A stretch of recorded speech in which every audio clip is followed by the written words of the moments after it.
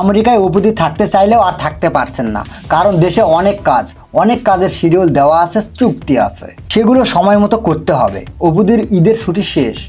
এই ঈদে উপদি যে সময়টা কাটালো, সেটা তিনি সারা জীবন মনে রাখবেন একদম মনের মনে কোঠায় কারণ হিসেবে বলতে পারি, বিগত আট বছর সাকিবের সংসার করে যে আনন্দটা উপভোগ করেছিলেন, তার থেকে বর্তমান কানাডা আমেরিকায় ঢের বেশি সুখ উপলব্ধি করছেন। মাঝখানে যে বিরতিটা গেল, তাও আবার আট বছর। বিরতির এই আট বছর তার ভুলের মাসুল। এ প্রসঙ্গে উপদি বলেন, আমি আগে ছোট ছিলাম, কম বুঝতাম। সন্তান হবার পর আমার সেই ভুল ভেঙে গেছে আমি আর ভুল করতেই চাই না। আমেরিকায় সাকিবের সাথে যে উপভোগটা পেয়েছি, তা মনের ইতিহাসে স্বর্ণাক্ষরে লেখা থাকবে। সন্তান পেয়েছে বাবার শ্রেষ্ঠ স্বীকৃতি। স্ত্রী আমি পেয়েছি মর্যাদা। এর থেকে সুখের আর কি অনুভূতি আছে? আমি সারা জীবন এই সুখ ধরে রাখতে চাই। আর ভুল করতেই চাই না।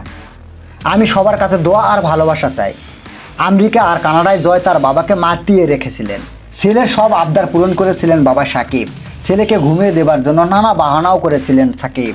আমাদের অনুভূতিটা যদি আপনাদের জানতে ইচ্ছে হয়, তাহলে মনে মনে নিজেকে প্রশ্ন করেন আর আমাদের জীবনটা নিজের জীবনে সেট করেন, অনুভব করেন। নিশ্চয়ই আমার ফিলিংসটা একটু হলেও বুঝতে পারবেন।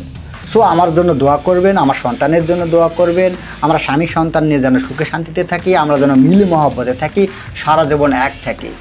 ভালো থাকবেন, আল্লাহ হাফেজ।